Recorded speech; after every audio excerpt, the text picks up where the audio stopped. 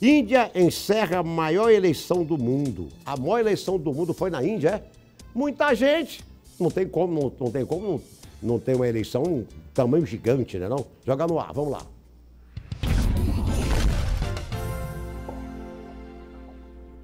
As eleições legislativas na Índia, as maiores do mundo, terminaram neste domingo após uma campanha agressiva e por vezes violenta, cheia de insultos e notícias falsas. Das praias de Goa às favelas de Bombém, passando pelos mosteiros de Ladakh ao lado do Himalaia, 900 milhões de pessoas foram convocadas para votar nas últimas seis semanas. Embora não sejam confiáveis, as pesquisas preveem uma nova vitória do partido BJP, nacionalista hindu do primeiro-ministro Narendra Modi. Os colégios eleitorais dos oito estados do norte, que elegem os últimos 59 candidatos para ocupar a Câmara Baixa, registraram longas filas. As autoridades adotaram medidas de segurança no estado de Bengala Ocidental, palco de episódios de violência entre seguidores do partido de Modi e da oposição.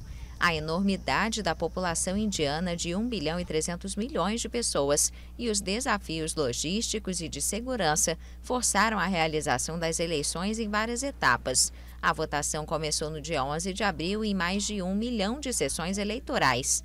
Todas as cédulas serão contadas em um único dia na quinta-feira. Até lá, as urnas serão mantidas em salas blindadas por guardas e câmeras de vigilância.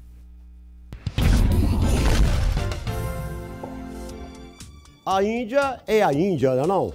Orlando Reis do Araçagi, ligado no melhor programa do Maranhão. Oh, rapaz, coisa boa, né? Nós estamos aqui, meu amigo.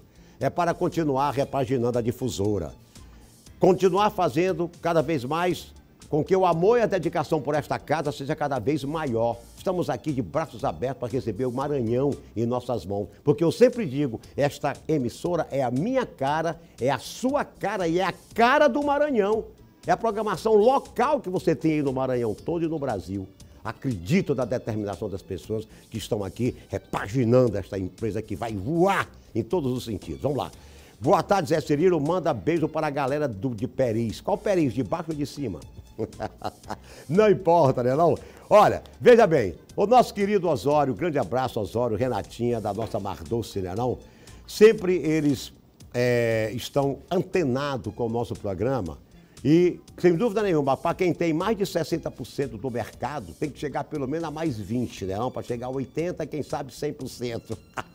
Olha aí, pratique Skyline. Se liga na dica. Vamos ler aqui. Praticar Skyline, além de muito divertido, traz diversos benefícios para a saúde, como melhora do equilíbrio, aumento da força corporal, correção de postura, foco da memória, além de promover interação social. Então chama um amigo para praticar juntos. Olha aí, rapaz. Agora não esqueça, qualquer tipo de esporte, qualquer tipo de esporte, pode ser skyline, pode ser futebol, pode ser basquetebol, Pode assistir o jogo do Sampaio, quarta-feira com o Palmeiras, lá no Castelão. O que, que você vai ficar na mão? É com água mais doce. Não tem como.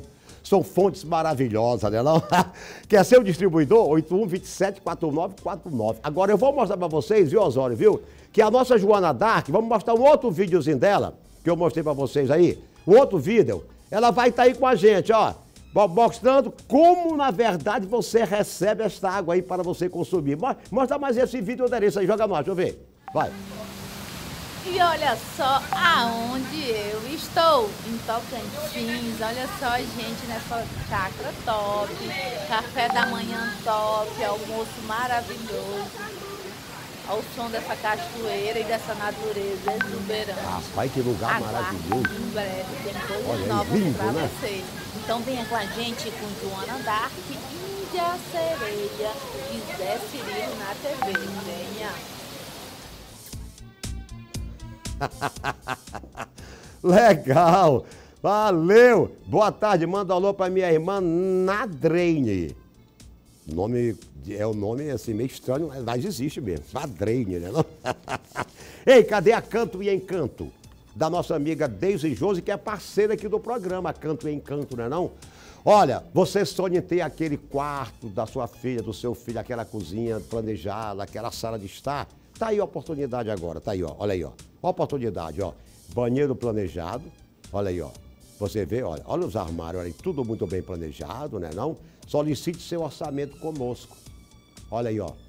Canto em canto, olha os dormitórios lindos, né? Não que elas produzem. Você tem dois endereços para você ir lá. Olha, já está indo embora maio, vai chegar São João, vai chegar agora uma época boa do Brasil, viu? Depois de São João, de julho de diante, as vacas vão estar tá bem mais gordas, viu? Bem mais gordas, olha aí, ó. 32465844 e 86009185. O Max Center fica no Coazerma.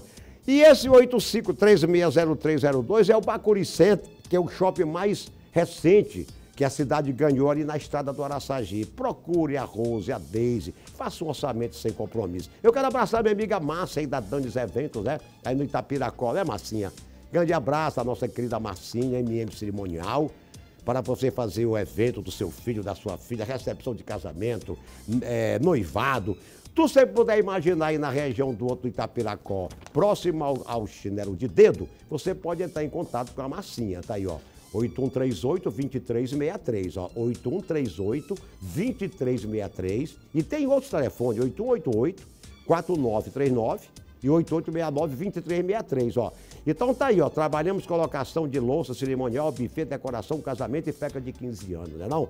Grande abraço, Marcinha, pra você, um beijo no seu coração, minha linda. Vamos lá.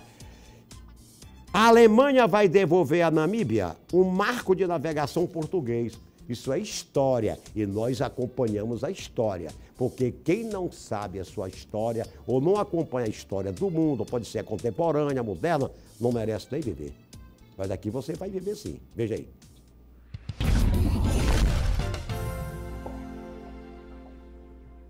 O Museu Alemão declarou nesta sexta-feira que pretende devolver à Namíbia um artefato histórico que está em exposição permanente desde 2006.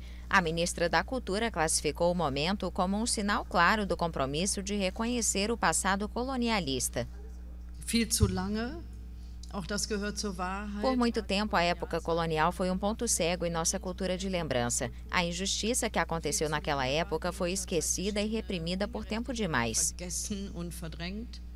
O marco de navegação de 3,5 metros e meio foi colocado no Cabo Cruz por exploradores portugueses no século XV.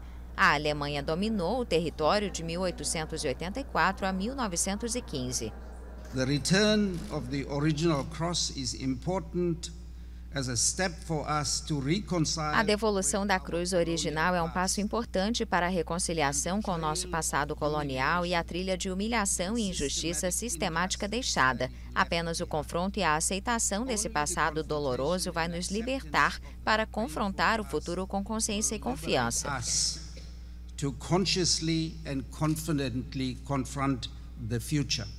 A Namíbia exigiu a devolução da cruz em 2017. O movimento é observado de perto por outras nações africanas. O príncipe de Camarões viajou para Berlim especialmente para testemunhar o anúncio. Antigas colônias esperam recuperar diversos outros artefatos que estão em museus e arquivos europeus.